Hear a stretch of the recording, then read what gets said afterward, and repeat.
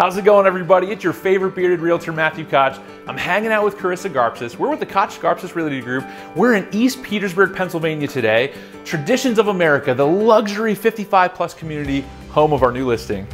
This house is the Adams model. It features three bedrooms, three full bathrooms, has a primary suite on the first floor, perfect for one floor living, and an awesome patio. We can't wait to bring you on a tour of this home, so let's go.